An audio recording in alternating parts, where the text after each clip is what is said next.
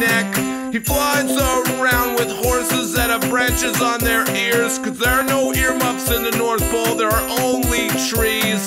He brings presents, looks like this is the best Christmas song that ever existed. This is the best Christmas song that ever existed. Mittens aren't even a super important thing, but this is the best Christmas song. Keep listening to it now.